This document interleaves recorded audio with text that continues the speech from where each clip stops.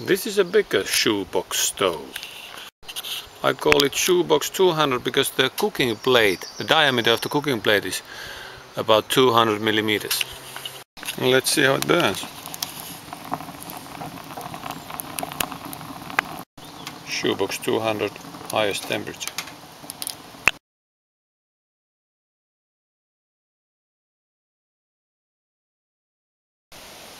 And when you're traveling or you just want to move,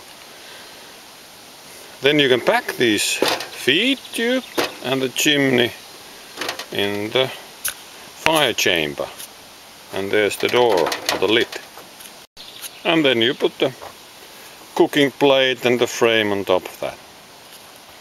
And then of course you need some chimney extension because this chimney is not long enough for this feed tube it should be at least double the length of the feed tube.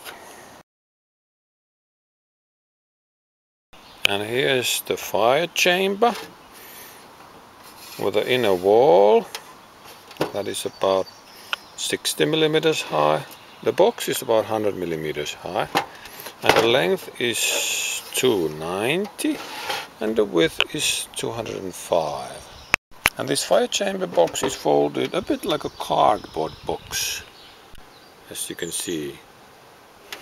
Very simple structure. And these gaps here and here are for the cooking plate frame.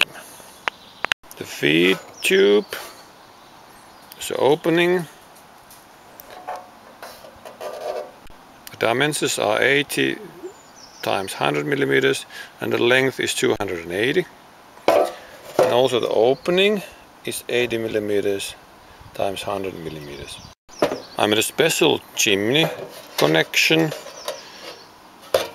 so the lower part is rectangular and the upper part is round so I can put an exit flue or a chimney that is about 100 millimeters diameter and it is a little bit flexible so I can adjust it according to the chimney. And the chimney connection is also, the opening is 80 times 100 millimeters and the lower part is 80 times 100 and the upper part is 100 millimeters. Cast iron cooking plate diameter is 207 millimeters. Cooking plate frame. It's like that. Very simple. And here's the lid for the feed tube. Like that. With the air intake holes.